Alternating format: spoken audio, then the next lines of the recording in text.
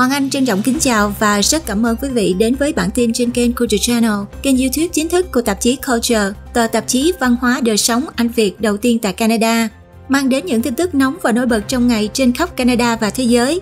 Kính chúc quý vị một ngày bình an. Sau đây mời quý vị theo dõi những tin tức đáng chú ý trên khắp Canada trong bản tin nổi bật vào cuối tuần, Chủ nhật ngày 8 tháng 9. Thưa quý vị, chúng ta đang theo dõi sức tàn phá của cơn bão Yagi. Hiện bão Yagi tấn công Việt Nam khiến ít nhất 21 người thiệt mạng và thiệt hại rộng rãi. Bão Yagi đã gây thiệt hại nặng nề ở miền Bắc Việt Nam theo tờ Global News và CTV News. Theo báo cáo nhanh của Cục Quản lý Đê điều và Phòng chống thiên tai, Bộ Nông nghiệp và Phát triển Nông thôn, được tờ Tuổi Trẻ trích dẫn đến 18 giờ ngày 8 tháng 9, thiệt hại do bão số 3 và mưa lũ sau bão làm 21 người tử vong, trong đó Lào Cai có 6 người thiệt mạng, Quảng Ninh có 5 người thiệt mạng, Hải Phòng 2 người, Hải Dương một người, Hà Nội một người, Hòa Bình bốn người, Yên Bái một người, Lạng Sơn một người và một binh sĩ thuộc quân khu 3. Ngoài ra còn 3 người đang mất tích và gần 230 người bị thương. Cơn bão được các quan chức khí tượng Việt Nam mô tả là một trong những cơn bão mạnh nhất trong khu vực trong suốt thập kỷ qua, đã đổ bộ vào các tỉnh ven biển Quảng Ninh, Hải Phòng, và Hà Nội vào chiều thứ Bảy với tốc độ gió lên tới 149 km một giờ. Cơn bão đã khiến cho hơn 3 triệu người mất điện và gây thiệt hại nặng nề cho đất nông nghiệp quan trọng, với gần 116.192 hecta lúa và trái cây bị hư hại. Bão cũng đã khiến cho 4 sân bay phải đóng cửa và hàng trăm chuyến bay bị hủy. Tại Quảng Ninh, nơi có di sản thế giới Vịnh Hạ Long và Hải Phòng, một trung tâm công nghiệp, tác động của cơn bão là rất nghiêm trọng, các phương tiện truyền thông địa phương báo cáo rằng gió mạnh đã làm đổ cây, trong đó một cây đổ ở Hà Nội khiến cho một người phụ nữ thiệt mạng. Cơn bão cũng đã gây ra mất điện rộng rãi ở các tỉnh Quảng Ninh và Thái Bình. Chính phủ đã hành động nhanh chóng, phát đi các cảnh báo và di tản những người có nguy cơ bị lũ lụt và sạt lở đất. Bốn sân bay gồm các sân bay ở Hà Nội và Hải Phòng đã bị đóng cửa như một biện pháp phòng ngừa, mặc dù đã có những nỗ lực để bảo đảm khu vực nhiều tàu thuyền neo đậu ở các thành phố phía Bắc đã bị cuốn ra biển. Bao Ngọc Cao, một nữ doanh nhân 24 tuổi từ Hà Nội, bày tỏ lo lắng của mình, nói rằng tôi sẽ ở trong nhà và cố gắng giữ an toàn cùng gia đình. Lần cuối cùng một cơn bão mạnh như thế này tấn công Việt Nam là vào năm 2013 và các cơn bão thường yếu đi trước khi đến thủ đô, nhưng chúng ta vẫn cần chuẩn bị. Đến sáng Chủ nhật hôm nay thì Yaki đã suy yếu thành một cơn áp thấp nhiệt đới, nhưng vẫn tiếp tục gây ra mưa lớn, tiềm ẩn nguy cơ lũ lụt, lũ quét và sạt lở đất ở các tỉnh miền Bắc và miền Trung. Các dịch vụ khẩn cấp bao gồm công nhân thành phố, quân đội và cảnh sát đang tích cực dọn dẹp đổ nát và đánh giá thiệt hại tại thủ đô Hà Nội. Bão Yagi xuất phát từ miền Tây Bắc của Philippines và đi qua Trung Quốc, trước đó đã gây thiệt hại đáng kể, bao gồm 20 người tử vong và 26 người mất tích tại Philippines và 3 người chết cùng gần 100 người bị thương tại Trung Quốc, cùng hàng triệu người phải di tản. Tại Hồng Kông, cơn bão đã dẫn đến việc hủy bỏ hơn 100 chuyến bay và buộc hơn 270 người phải tìm nơi trú ẩn tạm thời. Thành phố này đã trải qua mưa lớn và gió mạnh gây thiệt hại rộng rãi. Ông Benjamin Horton từ đài quan sát trái đất Singapore cho biết, các cơn bão như là Yaki đang trở nên mạnh mẽ hơn do biến đổi khí hậu, làm tăng nhiệt độ đại dương và năng lượng của cơn bão dẫn đến gió mạnh hơn và mưa lớn hơn. Khi cơn bão Yagi tiếp tục di chuyển ra xa, các khu vực bị ảnh hưởng bắt đầu quá trình phục hồi, đánh giá thiệt hại và bắt đầu các nỗ lực tái xây dựng.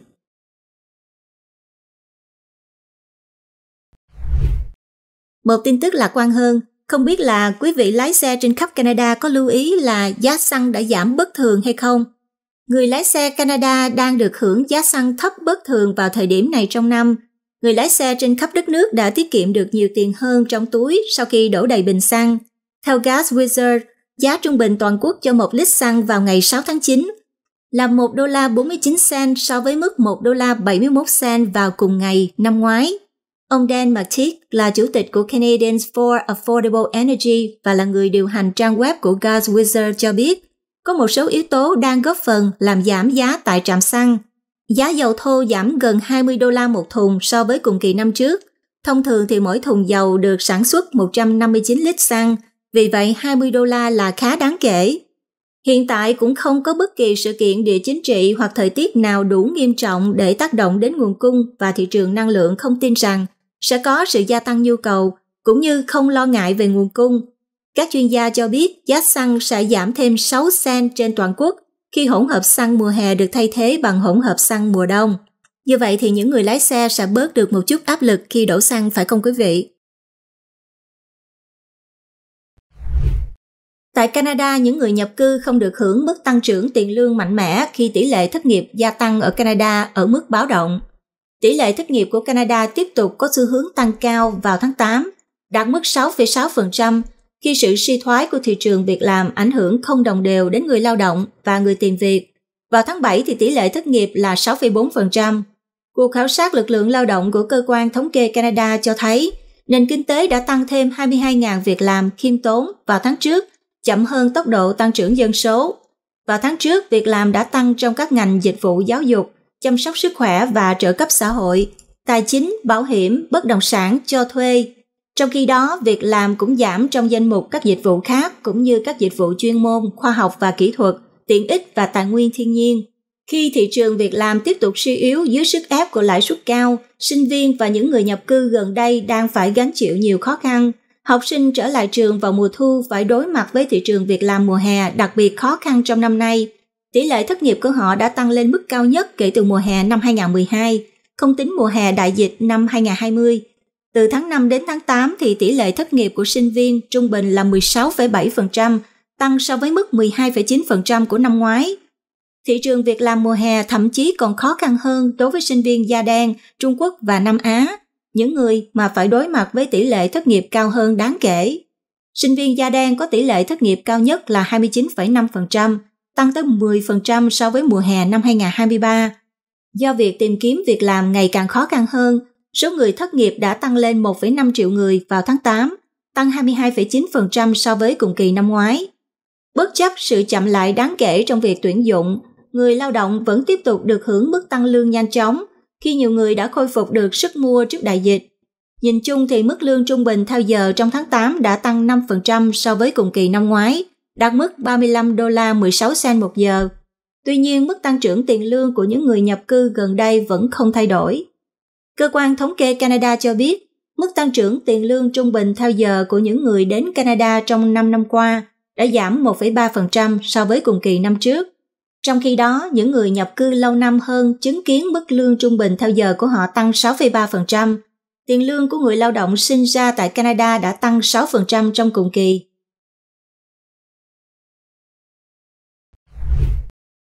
Quý vị, tỷ lệ thất nghiệp của Canada đang tiến gần đến mức mà các chuyên gia kinh tế cấp cao cho là mức đáng lo ngại. Các nhà kinh tế cấp cao tại trang web tìm kiếm việc làm Indeed cho biết tỷ lệ thất nghiệp của Canada đang tiến gần đến mức đáng lo ngại vì tốc độ tăng trưởng việc làm vẫn chậm hơn là so với số lượng người mới tham gia lực lượng lao động. Trả lời phỏng vấn với BNN Bloomberg, nhà kinh tế cấp cao Brandon Bernard cho biết số lượng việc làm không theo kịp với quy mô tăng vọt của lực lượng lao động và điều này dẫn đến tình hình việc làm yếu kém hơn. Bình luận của ông Bernard được đưa ra ngay sau khi cơ quan thống kê Canada đã tăng thêm 22.000 việc làm vào tháng trước Tỷ lệ thất nghiệp của Canada đã tăng lên 6,6% vào tháng 8, tăng từ mức 6,4% vào tháng 7. Ông Bernard lưu ý rằng nhu cầu lao động giảm ở Canada đang tác động không cân xứng đến những người đang tìm việc so với những người đã có việc làm vì tình trạng sa thải vẫn ở mức thấp hơn mức thường thấy trong thời kỳ thị trường việc làm suy thoái. Việc không sa thải hàng loạt là lý do chính khiến nút hoảng loạn vẫn chưa xuất hiện khi công chúng nhận thức rằng mức độ việc làm đang suy yếu của Canada hiện đang ở mức thấp nhất kể từ năm 2017 khi tình trạng mất việc làm liên quan đến đại dịch được loại trừ. Nhu cầu lao động suy yếu được cảm nhận nhiều nhất ở những người Canada trẻ tuổi vào tháng trước khi tỷ lệ thất nghiệp của thanh niên tăng lên 14,5% là mức cao nhất kể từ năm 2012, không tính thời kỳ đại dịch. Và một phần của câu chuyện đó cũng liên quan đến việc quay trở lại với tốc độ tăng trưởng dân số Chúng ta có tốc độ tăng trưởng dân số thực sự nhanh chóng và nó thực sự xảy ra trong nhóm tuổi từ 15 đến 24. Nhà kinh tế Bernard cho biết khi số lượng người Canada trẻ tìm kiếm việc làm tăng lên, trong khi các nhà tuyển dụng đồng thời cắt giảm nỗ lực tuyển dụng, thì đây giống như trò chơi đổi chỗ và mọi người đang bị bỏ lại phía sau. Chi phí giáo dục tăng cao làm giảm hiệu quả của chương trình RESP những bậc phụ huynh lo lắng khi cho con đi học tuần này sẽ còn nhiều điều phải lo lắng hơn nữa trong những năm tiếp theo. Theo một nghiên cứu gần đây của Embark, một tổ chức phi lợi nhuận chuyên lập kế hoạch giáo dục, chi phí cho bằng đại học 4 năm và chi phí cư trú tại Canada dự kiến sẽ tăng 39% trong 18 năm tới. Nghiên cứu phát hiện ra rằng chi phí giáo dục đại học sẽ lên tới 105.000 đô la vào năm 2041 và con số đó thậm chí còn chưa bao gồm chi phí học lên thạc sĩ hoặc là tiến sĩ. Đối với năm 2024, Embark ước tính chi phí trung bình cho chương trình đại học 4 năm và nơi cư trú là 75.000 đô la. Chính phủ liên bang có cung cấp cứu trợ cho các bậc cha mẹ đang túng thiếu thông qua một kế hoạch tiết kiệm và đầu tư gọi là kế hoạch tiết kiệm giáo dục đã đăng ký, tức là chương trình Registered Education Savings Plan, gọi tắt là chương trình RESP. Nhưng giới hạn cho chúng ta đóng góp trọn đời vô quỹ này là 50.000 đô la và giới hạn trợ cấp trọn đời từ chính phủ là 7.200 đô la, vẫn không thay đổi kể từ năm 2007. Tóm tắt về chương trình RESP, kế hoạch tiết kiệm giáo dục học tập. Mục đích của RESP là giúp tài trợ cho chi phí giáo dục sau trung học của trẻ em với sự hỗ trợ từ chính phủ Canada. Về hỗ trợ từ chính phủ, chính phủ sẽ đóng góp 20% trên khoản đóng góp hàng năm của cha mẹ, tối đa là 500 đô la mỗi một năm và 7.200 đô la trong suốt cuộc đời của kế hoạch này. Về thời gian và đầu tư, chương trình RESP có thời hạn tối đa 18 năm. Tiền trong RESP cần được đầu tư vào các tài sản như là cổ phiếu, trái phiếu và quỹ tương hỗ tức là mutual fund để tăng trưởng. Tuy nhiên có thể có rủi ro liên quan. Về mức thuế thì khoản đóng góp và trợ cấp từ chính phủ tăng trưởng miễn thuế khi còn trong kế hoạch tài khoản RESP này nhưng mà khi rút tiền ra thì sinh viên thường bị đánh thuế ở mức thuế thấp hơn. Nhưng nếu một đứa trẻ quyết định không tiếp tục học sau trung học hoặc có quá nhiều tiền được tích lũy thì bạn sẽ phải trả thuế trên số tiền kiếm được trong kế hoạch như lãi suất. Số tiền này được gọi là thu nhập tích lũy. Nó sẽ bị đánh thuế ở mức thuế thu nhập thông thường của cha mẹ, cộng thêm 20% nữa. Và thời điểm đó thì số tiền mà cha mẹ đã đưa vào quỹ OESV này sẽ được hoàn trả. Chia sẻ và mức giới hạn Khoản trợ cấp từ chính phủ liên bang có thể chia sẻ với anh chị em nếu còn chỗ trống trong trợ cấp. Giới hạn trọn đời cho mỗi trẻ em là 50.000 đô la. Tổ chức MBAC cung cấp công cụ tính toán và ước lượng chi phí giáo dục cho từng trường và khu vực. Số lượng sinh viên quốc tế đăng ký đã giảm mạnh 45%. Một nhóm đại diện cho gần 100 trường đại học tại Canada đã cảnh báo tác động từ lệnh hạn chế nhập học của chính phủ liên bang đối với sinh viên quốc tế sẽ lớn hơn nhiều so với mục tiêu mà Ottawa hướng tới. Ông Gabriel Miller, chủ tịch của Universities Canada cho biết, khi các trường chính thức hoàn tất việc đếm số lượng sinh viên đã đến và ghi danh, sẽ thấy giảm ít nhất là 45%. Con số cuối cùng sẽ được báo cáo vào tháng 10. Nói rất có khả năng rằng tình hình sẽ còn tệ hơn những gì chúng ta lo sợ. Nhưng điều quan trọng cần lưu ý là chúng ta đã ở trong lãnh thổ mà không ai lường trước được và cần phải giống lên hồi chuông báo động lớn ở Ottawa rằng chúng ta cần phải bắt đầu xoay chuyển tình hình ngay lập tức. Bộ trưởng Di trú ông Mark Miller đã đưa ra hạn ngạch quốc gia vào tháng 1. Khi đó ông cho biết là sẽ giảm 35% lượng người nhập cư trong hai năm tới, đồng thời nói thêm rằng các biện pháp này chỉ là tạm thời. Luật này được đưa ra nhằm mục đích kiềm chế sự gia tăng nhanh chóng số lượng sinh viên quốc tế, gây áp lực về nhà ở, chăm sóc sức khỏe và các dịch vụ khác. Bộ trưởng cho biết mức giới hạn này dự kiến sẽ cấp khoảng 364.000 giấy phép du học vào năm 2024. Nhưng sau đó, con số đó đã được điều chỉnh với dự kiến là sẽ cấp khoảng 292.000 giấy phép. Mặc dù mức giới hạn này áp dụng trên toàn quốc, những tỉnh có mức tăng trưởng không bền vững nhất về lượng tuyển sinh sẽ phải cắt giảm số lượng sinh viên nhiều hơn các khu vực khác.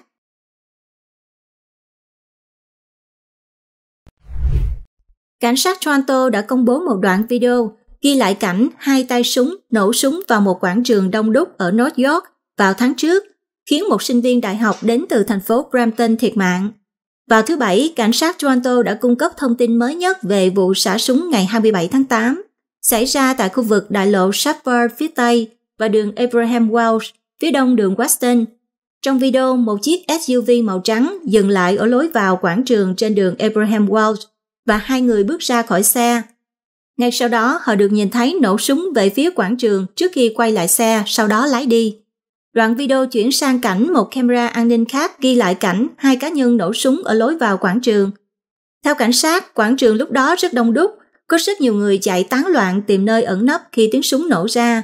Một người khác cũng bị thương nhưng không nguy hiểm đến tính mạng trong vụ nổ súng. Trong khi đó, những kẻ nổ súng quay trở lại xe và phóng đi.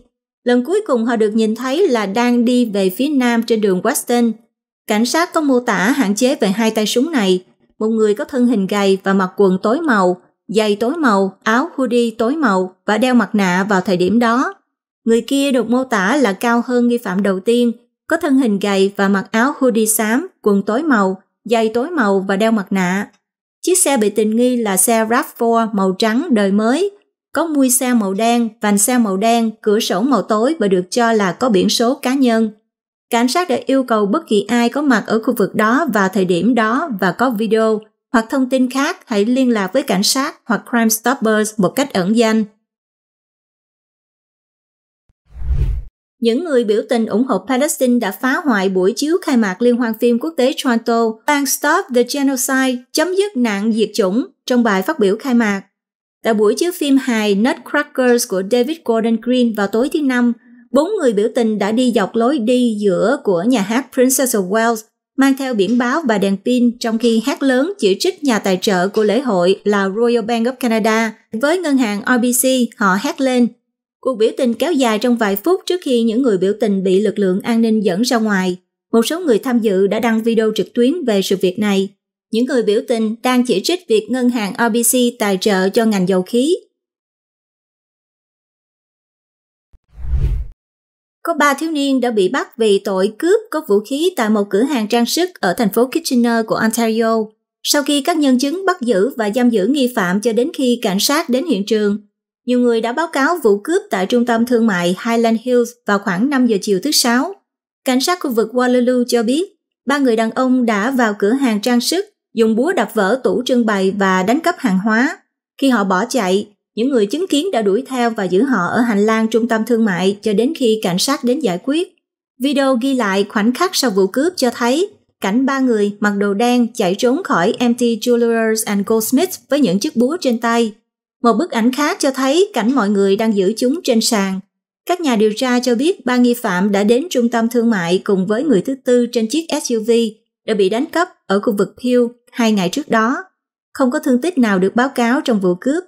Cảnh sát cho biết ba thanh niên 15 tuổi, 16 tuổi và 18 tuổi đã bị buộc tội cướp có vũ khí, cố ý cải trang, tàn trữ vũ khí vì mục đích nguy hiểm, tàn trữ tài sản có được do tội phạm trên 5.000 đô la.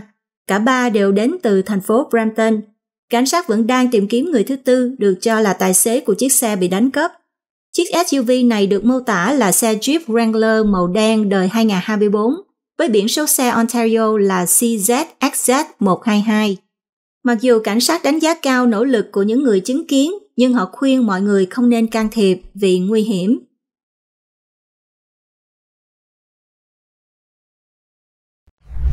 Các chuyên gia giáo dục bác bỏ việc đổ lỗi cho người nhập cư trong tình trạng thiếu giáo viên. Khi năm học mới bắt đầu tại tỉnh bang Quebec, tình trạng thiếu giáo viên đã trở thành một vấn đề quen thuộc, với hàng ngàn vị trí giảng dạy chưa được lấp đầy Chính phủ tỉnh đã phải bảo vệ mình trước sự chỉ trích về việc không giải quyết được vấn đề này, trong khi các chính trị gia tiếp tục chỉ trích người nhập cư như một nguyên nhân chính cho tình trạng thiếu giáo viên. Các chuyên gia giáo dục thì cho rằng đây không phải là nguyên nhân cơ bản. Thủ hiến Quebec ông François Legault cho biết sự gia tăng số lượng học sinh, phần lớn là người nhập cư, đã làm gia tăng nhu cầu về giáo viên. Ông cũng nhắc đến điều kiện làm việc và mức lương thấp như những lý do khác cho tình trạng thiếu hụt nhân sự trong hệ thống giáo dục. Vào giữa tháng 8, Bộ trưởng Giáo dục Quebec ông Bernard Granville cho biết số học sinh năm nay tăng thêm 20.000 người so với năm ngoái, trong đó khoảng 80% là người mới đến tỉnh. Với khoảng 5.700 vị trí giảng dạy còn thiếu, ông đã yêu cầu chính phủ liên bang kiểm soát quy trình nhập cư để giảm bớt lượng nhập cư tạm thời, đặc biệt là những người xin tị nạn. Tuy nhiên, các số liệu từ tuần trước cho thấy có tới 1.957 vị trí giảng dạy chưa được lấp đầy trong hệ thống giáo dục. Diane Corian là giáo sư tại Đại học Concordia cho rằng tính toán của Bộ trưởng Granville là không hợp lý, ngay cả trong trường hợp xấu nhất, tức là tất cả 20.000 học sinh đều là người nhập cư, điều đó cũng không hợp lý. Theo Chủ tịch Liên đoàn Giáo viên cho biết sự gia tăng số học sinh người nhập cư yêu cầu nhiều nhân sự hơn tại các trường dạy bằng tiếng Pháp Tuy nhiên, tỉnh bang Quebec đã không thay thế một thế hệ giáo viên nghỉ hưu dẫn đến tình trạng thiếu giáo viên hiện tại. Ngay cả các trường học dạy bằng tiếng Anh cũng đang gặp tình trạng thiếu giáo viên, mặc dù các luật ngôn ngữ nghiêm ngặt của tỉnh bang Quebec buộc hầu hết người nhập cư phải cho con vào hệ thống trường dạy bằng tiếng Pháp. Chủ tịch Hiệp hội Giáo viên Quebec, ông Stephen Lesueur cho biết, việc gia tăng học sinh người nhập cư có ảnh hưởng tối thiểu đến các trường học tiếng Anh, nhưng họ vẫn đang tìm kiếm giáo viên đủ tiêu chuẩn. Gia từ các trường đại học Quebec cho rằng, vấn đề chính là sự hỗ trợ và đào tạo cho giáo viên. Tình trạng thiếu giáo viên ở Quebec hiện nay chỉ là một ví dụ khác về cách Coalition Avenir Quebec đã sử dụng vấn đề nhập cư, theo ông François Rocher, giáo sư danh dự tại Đại học Ottawa.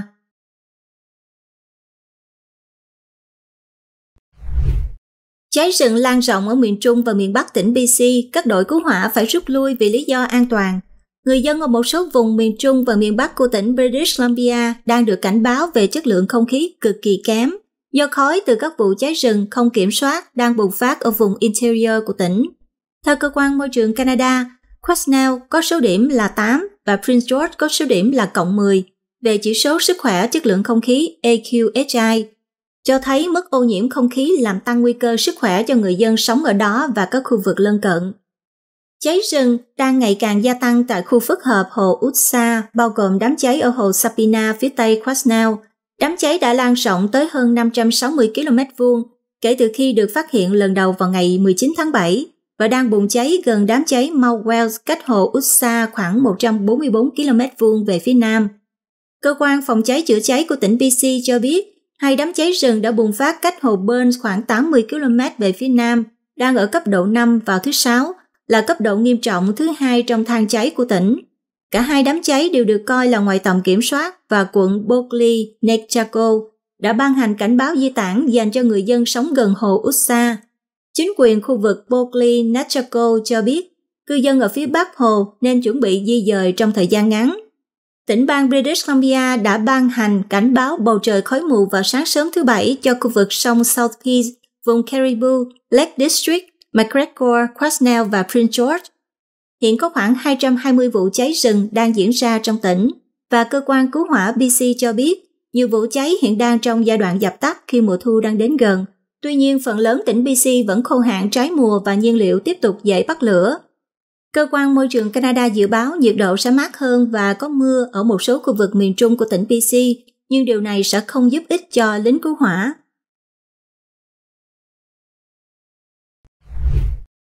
Giới chức của tỉnh bang British Columbia cho biết những gì mà một số công nhân xây dựng ở tỉnh mô tả là khía cạnh tồi tệ nhất trong công việc của họ sẽ kết thúc vào tháng tới. Bắt đầu từ ngày 1 tháng 10, các công trường xây dựng có 25 công nhân trở lên sẽ phải có nhà vệ sinh, xả nước và tiện nghi rửa tay, chấm dứt tình trạng nhà vệ sinh di động khó chịu. Thủ hiến David Eby lần đầu tiên hứa sẽ giải quyết tình trạng thiếu nhà vệ sinh trong ngành này vào tháng 10 năm ngoái khi phát biểu tại Hội đồng xây dựng tỉnh BC, cho biết chính sự ủng hộ của Liên minh Công đoàn đã thúc đẩy ban hành luật này. Những thay đổi này nằm trong quy định về an toàn và sức khỏe nghề nghiệp và WorkSafe BC có trách nhiệm bảo đảm các công ty xây dựng tuân thủ bắt đầu bằng việc thông báo cho họ về những thay đổi trong vài tháng tới. Các quy định mới yêu cầu nhà vệ sinh có thể kết nối với hệ thống cống rãnh hoặc bể chứa và sử dụng dòng nước sạch. Phòng vệ sinh cũng được yêu cầu có các tiện nghi rửa tay bằng xà bông và nước và phải sạch sẽ, thông gió và riêng tư. Theo thống kê Canada có hơn 245.000 người dân tỉnh BC làm việc trong ngành xây dựng Công nhân khu vực công Alberta tập hợp để gửi thông điệp tới chính phủ. Hàng trăm công nhân viên chức của Alberta đã tập trung bên ngoài bệnh viện Foothills vào hôm thứ Bảy, với hy vọng là gửi thông điệp tới tỉnh này để có được một thỏa thuận tập thể công bằng trong quá trình thương lượng tập thể. Các cuộc đàm phán đang được tiến hành cho thỏa thuận tập thể mới giữa tỉnh bang và Liên đoàn Công nhân tỉnh Alberta, AUPE. Tuy nhiên, Phó Chủ tịch điều hành của AUPE là Bonnie Costola cho biết các cuộc đàm phán đó đã bị đình trệ. Công đoàn đại diện cho hơn 95.000 thành viên cho biết nhiều người trong số họ đã không có thỏa thuận chung kể từ đầu năm nay. Công nhân đang tìm kiếm giải pháp cho các vấn đề về nhân sự và lương hưu. Họ cũng muốn tăng lương 26% trong 3 năm, nhưng tỉnh đã đề nghị tăng 7,5% trong 4 năm. Các cuộc meeting cũng đã được tổ chức tại Edmonton và Red Deer vào hôm thứ Bảy với một cuộc meeting dự kiến diễn ra tại Okotoks vào Chủ nhật và Taber vào tuần tới. Trong một tuyên bố, Bộ trưởng Tài chính Alberta Ned Honor cho biết, người dân Alberta trung bình chưa từng chứng kiến mức tăng lương như thế này và chính phủ này sẽ không tăng thuế hoặc cắt giảm các chương trình và dịch vụ mà người dân Alberta dựa vào để hỗ trợ mức tăng lương vượt xa mức thị trường.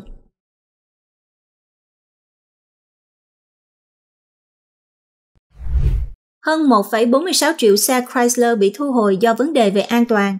Công ty mẹ của Chrysler là Stellantis đang thu hồi 1,46 triệu xe trên toàn thế giới do lỗi phần mềm trong hệ thống chống bó cứng phanh có thể làm tăng nguy cơ xảy ra va chạm. Đợt thu hồi bắt đầu vào thứ Bảy, bao gồm gần 1,23 triệu xe tải Ram 1500 đời 2019 và 2021 đến 2024 tại Hoa Kỳ, cũng như khoảng 159.000 xe ở Canada, 13.000 xe ở Mexico và 61.000 xe bên ngoài Bắc Mỹ. Theo cơ quan chức năng, vấn đề về phần mềm có thể khiến cho module điều khiển hệ thống chống bó cứng phanh, vô hiệu hóa hệ thống kiểm soát ổn định điện tử. Điều này có nghĩa là những chiếc xe này không tuân thủ tiêu chuẩn an toàn liên bang dành cho xe cơ giới về hệ thống kiểm soát ổn định điện. Nếu xảy ra trục trặc, đèn báo ABS, ESC, kiểm soát hành trình thích ứng và cảnh báo va chạm phía trước sẽ sáng khi khởi động, cho biết hệ thống không hoạt động và phanh cơ bản cũng không hoạt động. Stellantis cho biết họ không biết về bất kỳ thương tích hoặc tai nạn nào liên quan. Hãng cũng cho biết họ đang thu hồi khoảng 33.000 xe Jeep Gladiator sản xuất từ năm 2020 đến năm 2024 và xe Jeep Wrangler sản xuất từ năm 2018 đến năm 2024 do có khả năng xảy ra vấn đề đoạn mạch bên trong cụm bảng điều khiển. Thưa quý vị, sự phát triển của trí tuệ nhân tạo AI đang định hình lại thị trường việc làm với tốc độ chưa từng có và nghiên cứu mới của liên bang cho thấy khi các công nghệ này phát triển, một số công việc sẽ được hưởng lợi, trong khi những công việc khác thì có thể phải đối mặt với những thách thức đáng kể. Nghiên cứu phân loại các công việc thành ba nhóm dựa trên mức độ tiếp xúc với AI và cách AI có thể hỗ trợ hoặc là thay thế chúng. Vậy những công việc nào sẽ bị ảnh hưởng? Thứ nhất nói về công việc có tính bổ sung cao. Các công việc yêu cầu trình độ học vấn cao như là chăm sóc sức khỏe và giảng dạy, có khả năng hưởng lợi từ AI với các nhiệm vụ trở nên hiệu quả hơn. Những vai trò này ít có khả năng bị thay thế bởi AI. Nghiên cứu cho biết có 29% người lao động Canada thuộc danh mục này vào tháng 5 2021 và AI dự đoán sẽ mang lại sự thay đổi tích cực cho những vai trò này. Nhóm thứ hai là nhóm tiếp xúc cao và bổ sung thấp. Các vai trò như là lập trình viên máy tính và nhân viên văn phòng, những vai trò vốn được coi là an toàn trong nền kinh tế công nghệ nhưng lại có nguy cơ bị thay thế bởi AI vì các công việc này có thể được tự động hóa hiệu quả. Dù yêu cầu kỹ năng chuyên môn, những công việc này có thể dễ bị ảnh hưởng do khả năng ngày càng tăng của AI trong việc thực hiện các nhiệm vụ phức tạp như là viết và gỡ lỗi mã code. Khoảng 31% người lao động Canada thuộc nhóm có mức độ tiếp xúc cao, nhưng tính bổ sung thấp, nghĩa là vai trò của họ có thể bị thay đổi hoặc thay thế hoàn toàn bởi AI. Và nhóm thứ ba thuộc về nhóm tiếp xúc thấp. Thú vị là nghiên cứu cũng nêu bật một nhóm thứ ba, những công việc ít bị ảnh hưởng bởi AI những công việc này thường liên quan đến các nhiệm vụ thủ công, yêu cầu sự hiện diện và kỹ năng tay nghề cao, khiến chúng khó tự động hóa như là thợ mộc, thợ hàng và lính cứu hỏa. 40% người lao động Canada thuộc nhóm có mức độ phơi nhiễm thấp này. Cho thấy rằng bất chấp sự bùng nổ của AI, một số công việc sẽ vẫn tương đối không bị ảnh hưởng. Dù ảnh hưởng của AI đối với thị trường việc làm là không thể phủ nhận, nhưng nghiên cứu cũng cảnh báo rằng việc tiếp xúc cao với AI không nhất thiết đồng nghĩa với việc mất việc làm. Các yếu tố pháp lý, tài chính và thể chế có thể đóng vai trò bảo tồn một số nghề nghiệp, ngay cả khi AI trở nên tiên tiến hơn. Ngoài ra khi AI tiếp tục phát triển, các cơ hội việc làm mới có thể xuất hiện, đặc biệt là trong các lĩnh vực liên quan đến duy trì và cải thiện hệ thống AI.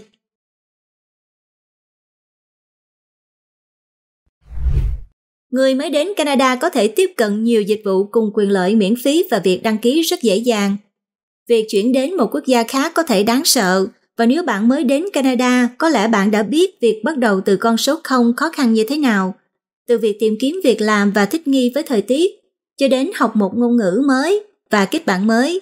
Có cả một danh sách dài những thứ bạn có thể phải thích nghi và tìm hiểu sau khi chuyển đến Canada và điều đó có thể khó khăn với bất kỳ ai. Để hỗ trợ cho bạn, chính phủ liên bang và một số tổ chức tư nhân thực sự có rất nhiều phúc lợi và tín dụng dành cho những người nhập cư vào Canada. Vì vậy nếu bạn vừa mới đáp xuống thì hãy cố gắng đừng quá choáng ngợp. Sau đây là một số nơi bạn có thể đến nếu bạn cần giúp đỡ để ổn định. Thứ nhất là dịch vụ định cư Settlement Services. Nếu bạn đến đất nước này với tư cách là thường trú nhân, chính phủ có rất nhiều dịch vụ định cư hữu ích mà bạn có thể sử dụng. Những tổ chức này đôi khi đảm nhận nhiều vai trò khác nhau và có thể hướng dẫn người mới đến mọi thứ, từ việc tìm nơi phù hợp để sống đến các sự kiện cộng đồng địa phương gần bạn. Để tìm các chương trình có sẵn, bạn chỉ cần lướt qua danh sách các dịch vụ định cư miễn phí, Settlement Services trực tuyến và tìm một dịch vụ gần bạn cung cấp các dịch vụ bạn cần. Cho dù bạn đang tìm kiếm việc làm hay cần đăng ký cho con mình đi học, có hơn 1.000 dịch vụ được liệt kê và một số cơ quan có nội dung khá cụ thể, ví dụ như là chương trình chỉ dành cho phụ nữ hoặc thanh thiếu niên. Vì vậy hãy chọn cơ quan đáp ứng tốt nhất nhu cầu của bạn. Tiếp theo là dịch vụ việc làm. Một trong những điều quan trọng nhất đối với nhiều người mới đến Canada là tìm được việc làm. Cụ thể hơn là tìm được việc làm đúng chuyên ngành hoặc đúng lĩnh vực. May mắn thay có rất nhiều cơ quan hỗ trợ người mới đến Canada tìm việc làm, miễn là bạn đủ điều kiện làm việc tại quốc gia này. Access Employment cung cấp các hội thảo về phỏng vấn và tạo hồ sơ xin việc, cùng các cơ hội kết nối với các nhà tuyển dụng. Chương trình thực tập liên bang dành cho người mới đến là Federal Internship for Newcomers, gọi tắt là chương trình FIN, có thể giúp bạn có được kinh nghiệm làm việc tạm thời và đào tạo để chuẩn bị cho bạn gia nhập lực lượng lao động tại Canada. Chương trình Career Edge, nơi kết nối những người mới đủ điều kiện với các nhà tuyển dụng để thực tập có lương, giúp họ vừa có thể kiếm tiền trong khi có được kinh nghiệm tại địa phương. Lưu ý rằng bạn phải là thường trú nhân hoặc có giấy phép lao động mở, tức là Open Work Permit, để đủ điều kiện tham gia thực tập tại Career Edge. Về lớp học ngôn ngữ, hiểu biết và nói tiếng Anh và hoặc tiếng Pháp sẽ cực kỳ hữu ích nếu bạn sống ở Canada, đặc biệt là nếu bạn đang có kế hoạch đi làm có rất nhiều lớp học miễn phí mà bạn có thể tham gia. Chương trình hướng dẫn ngôn ngữ cho người mới đến Canada gọi tắt là chương trình LINC, LINC, là nguồn tài nguyên tuyệt vời cho những ai muốn học các ngôn ngữ này. Sau khi đánh giá ngôn ngữ, bạn có thể đăng ký lớp học phù hợp. Một số khóa học còn có dịch vụ bổ sung như là đưa đón và chăm sóc trẻ em. Về bảo hiểm y tế, chăm sóc sức khỏe ở Canada là công cộng, nghĩa là hệ thống được tài trợ thông qua tiền thuế Do đó bất kỳ công dân hoặc thường trú nhân Canada nào cũng có thể đăng ký bảo hiểm y tế công cộng. Vì chăm sóc sức khỏe thuộc quyền quản lý của tỉnh bang, nên chương trình bảo hiểm của bạn sẽ phụ thuộc vào tỉnh bang mà bạn chọn để sinh sống. Bạn cần phải nộp đơn xin thẻ y tế tức là health card để được tiếp cận các dịch vụ tại tỉnh mà mình sinh sống và bạn có thể đăng ký miễn phí trực tuyến. Tuy nhiên, một số tỉnh có thời gian chờ đợi là 3 tháng trước khi bảo hiểm công cộng bắt đầu có hiệu lực. Vì vậy bạn cần phải chuẩn bị lên kế hoạch phù hợp. Phạm vi bảo hiểm và dịch vụ có thể khác nhau giữa các khu vực, nhưng bảo hiểm y tế công cộng trên toàn quốc sẽ chi trả phần lớn các chi phí chăm sóc sức khỏe. Nhìn chung các dịch vụ y tế khẩn cấp cũng sẽ được chi trả ngay cả khi bạn không có thẻ y tế. Về kết nối cộng đồng, chương trình Canada Connect giúp người mới đến Canada xây dựng mối quan hệ bằng cách ghép đôi họ với công dân hoặc cư dân lâu năm qua đó, người mới có thể tham gia các hoạt động cộng đồng và thực hành ngôn ngữ. Bạn có thể tham gia chương trình này thông qua các tổ chức dịch vụ định cư địa phương. Các ngân hàng có chương trình dành cho người mới. Khi mới đến Canada, bạn có thể bất ngờ khi các ngân hàng lớn thu phí mở tài khoản giao dịch hàng ngày. Tuy nhiên, cả 5 ngân hàng lớn, bao gồm ngân hàng RBC, TD Bank, Bank of Montreal, CIBC và Scotiabank, đều có chương trình khuyến mãi miễn phí cho người mới đến thường từ 6 tháng đến 1 năm. Những ưu đãi khác bao gồm giao dịch quốc tế miễn phí, hỗ trợ đặc biệt và dịch vụ bằng nhiều ngôn ngữ. Các chương trình này cũng giúp bạn bắt đầu xây dựng lịch sử tín dụng tại Canada. Và giảm giá tại các cửa hàng. Trên thực tế thì điều này không miễn phí, nhưng cũng có những thương hiệu giảm giá cho người mới đến Canada, bao gồm các công ty như là Uber và HelloFresh, cung cấp ưu đãi cho người dùng lần đầu tiên tại Canada. Hơn nữa, rất nhiều thương hiệu và dịch vụ có chương trình khuyến mãi đặc biệt như là giảm giá và thậm chí dùng thử miễn phí cho những người đăng ký chương trình thành viên lần đầu tiên. Và cuối cùng, còn gì tuyệt vời hơn việc khám phá đất nước mới của bạn được miễn phí? Để giúp những người mới đến khám phá ngôi nhà mới của mình tốt hơn, Canoe là một ứng dụng được Viện Công dân Canada Institute for Canadian Citizenship hỗ trợ, cho phép những người mới đến Canada đến thăm hơn 1.400 điểm đến trên khắp cả nước miễn phí, bao gồm các công viên quốc gia, di tích lịch sử, trung tâm khoa học, bảo tàng, phòng trưng bày nghệ thuật, vân vân. Theo trang web của ứng dụng, bạn đủ điều kiện tham gia Canoe nếu bạn trên 18 tuổi và là người mới đến Canada trong vòng 5 năm đầu tiên, với tư cách là thường trú nhân, hoặc bạn đã nhận được quốc tịch Canada cách đây chưa đầy 12 tháng. iPhone đang được làm mới, những gì mong đợi từ sự kiện sắp tới của Apple. Apple sẽ cho ra mắt dòng iPhone đầu tiên được thiết kế cho AI sinh tạo, tức là Generative AI, tại sự kiện phần cứng thường niên của mình. Các tính năng AI mới nhằm nâng cao Siri, hỗ trợ các tác vụ như là soạn thảo email và cải thiện tìm kiếm ảnh. Sự kiện với khẩu hiệu là It's Glow Time sẽ rất quan trọng để Apple chứng minh sự tiến bộ trong AI và thuyết phục người dùng nâng cấp, đặc biệt khi doanh số iPhone đã chậm lại. Ngoài ra các bản cập nhật cho Apple Watch và AirPods cũng được mong đợi. Một câu hỏi quan trọng là Apple sẽ định giá dòng iPhone 16 mới như thế nào, với khả năng tăng giá nhẹ được dự đoán. Đây là địa điểm Canada thu hút nhiều du khách đi một mình nhất. Nếu bạn đang nghĩ đến việc đi du lịch một mình trong năm nay, bảng xếp hạng mới có thể giúp bạn thu hẹp danh sách những địa điểm mà bạn sẽ không cảm thấy quá cô đơn. Theo trang web du lịch Kayak, Berlin của Đức là nơi tốt nhất để đi du lịch quốc tế một mình.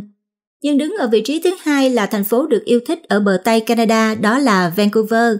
Theo Kayak, Berlin là nơi hoàn hảo cho một chuyến đi đơn lẻ vì có các câu lạc bộ nhạc techno, bối cảnh nghệ thuật và lịch sử. Tại thành phố đa dạng về văn hóa này, bạn cũng có thể thưởng thức món currywurst, doner kebab và schnitzel nổi tiếng. Vancouver của British Columbia nhận được 90% điểm nhờ bối cảnh biêu thủ công, thiên nhiên và cuộc phiêu lưu.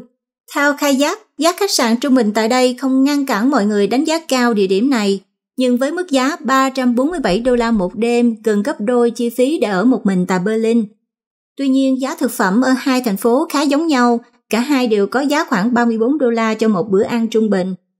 Những địa điểm khác lọt vào bảng xếp hạng là Montreal, Paris, Milan, Dublin, Toronto, Dubai và Mexico City. Sau đây là phần cập nhật nhanh về tỷ giá hối đoái. Thưa quý vị, đồng đô la Canada hiện đang có mức giá là 0,7383 đô la Mỹ và bằng 0,6657 đồng euro. Một đô la Canada tương đương 18.116 đồng Việt Nam, một đô la Mỹ tương đương 24.605 đồng Việt Nam. Giá vàng là 2.497,39 đô la Mỹ một ounce, tương đương 3.391 đô la Canada. Và đó là những tin tức Canada nổi bật trong cuối tuần. Rất cảm ơn quý vị và các bạn đã quan tâm theo dõi. Chúng tôi cũng kính mời quý vị đón theo dõi những tin tức đáng chú ý trên thế giới.